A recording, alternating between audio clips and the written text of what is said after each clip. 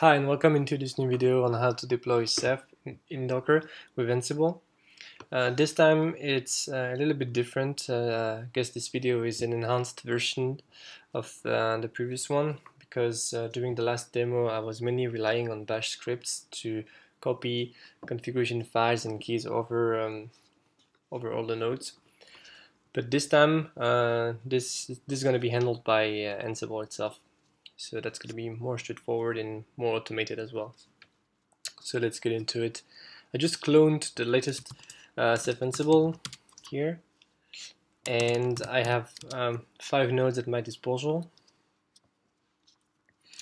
So in terms of configuration, what we have to do first is to enable serialized deployment um, because basically we have to to bootstrap uh, configuration files and keys, but we also have to copy them over to the Ansible server. So if that if that happens um, at the same time on every single node, they won't be able to detect that another node is doing the same thing as well. So you will end up having three uh, three monitors, uh, but uh, standalone monitors. So this is not really what we want. So uh, for this, we have to serialize the deployment. So we're going to be deploying uh, monitors one by one. Um, in terms of configuration, it's pretty straightforward. So uh, you simply need to enable the global Docker variable. And then we're going to go through every single individual uh, components that we uh, that we're going to deploy. Uh, I already already did that, but you mainly have to enable the self-containerized deployment, um, and then you have to use the uh, all of our images are hosted on the Git on the um, Docker Hub. We use the Ceph namespace for that. And, uh, our main image is uh, called daemon. So for this monitor, we have to specify an interface where where we want this monitor to be listening on. We have to, to give a subnet as well. This will help us uh, to um, to give a proper network for our OSDs later and then we can we, we have a really elegant mechanism where we can easily pass new variables. Um, for example when you when you do a docker run you can do docker run dash e my variable dash e my variable again. And this this is uh, mainly the same. So you can have as many um, available variables as you want. The idea here is that um, we don't really want to to always have had add uh, one new option for for every single option that uh, that land uh, in Ceph Docker. So now, if you know that that is a new option in Ceph Docker, you can easily pass this new version, and we don't have to do um, any modification on the Ceph Ansible code. Next for the OSDs. So first three lines are the same. Uh, difference is that we have to, uh, of course, um, pass several block devices and uh, same again about this extra um, environment uh, variable. So in this case I'm, I'm specifying that I use uh, the OSD Cephdisk scenario which means that we're going to be using Cephdisk to prepare and activate our OSDs and I'm going to be using OSD_FORCE_ZAP 2.1 because I already bootstrapped uh, previously some OSDs and obviously I still have Ceph partitions so we have a check for that in Ceph Docker. So if we detect that there is a partition already called Ceph then we don't do anything. So if you want to override this you have to set this, this variable. And what we will do is just zap um, erase partitions create new labels. In terms of MDS uh, there is not much to do. It's pretty straightforward. Just just set up a, uh, a different name if you want for Rados Gateway, um, use uh, the default yeah, Civet Web uh, embedded uh, web server from C++, and you can specify your port, so 8080 in our case, and same again. You can you can specify more options if you want. And lastly, we have the Ceph REST API. So well, we we know it's not like widely used, but uh, we we have it anyway. Um, so we can specify on which interface we want the, this process to be listening on, listening on, on which port, and, and so forth.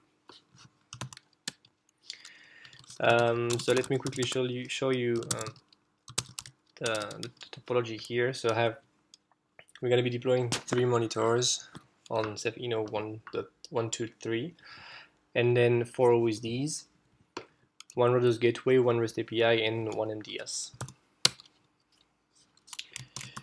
I'm gonna time this so you'll see. Uh, uh, just for you to know, I already prefetched uh, the images. Well, the image because there is only one image actually.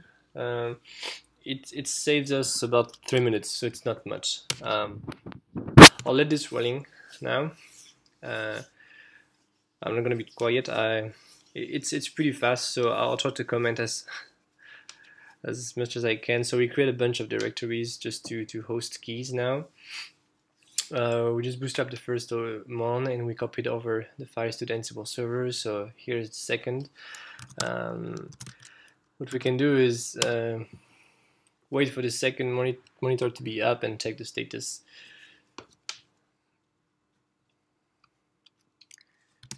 So should be up now. So as you can see, we have two monitors. So the, the, the third one is being bootstrapped at the moment. Now and he, he, here it is. We have three mons and now we, we are starting to bootstrap the OSDs so every single time we bootstrap first we copy all the configuration files into etcceph uh, and bootstrap keys uh, uh, bootstrap.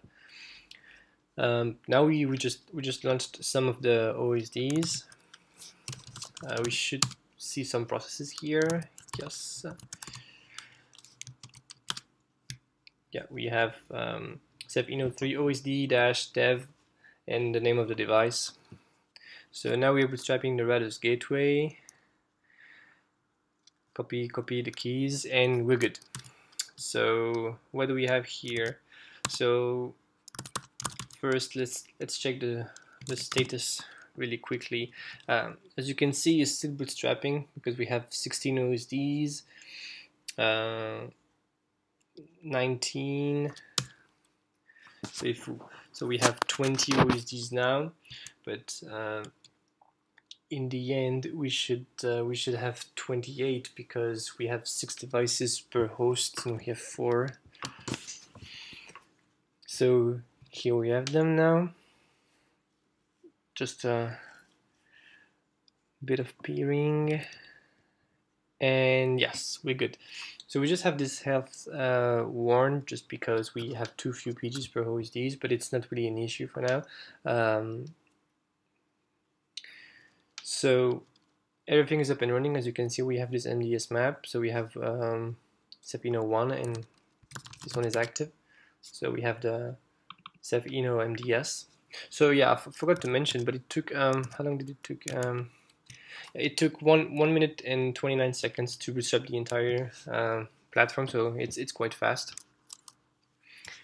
Um, if we now have a look at, uh, so we we should we should see the REST API listening on 5000. So if we curl that, yeah, we have all the monitors options, so it works.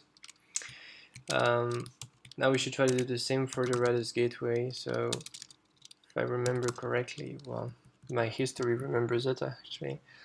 Um, it was 8080, and no, it's not this node, but it's this one. So you see, we have this uh, bucket result. Um, so this this was the the response from from Rados Gateway.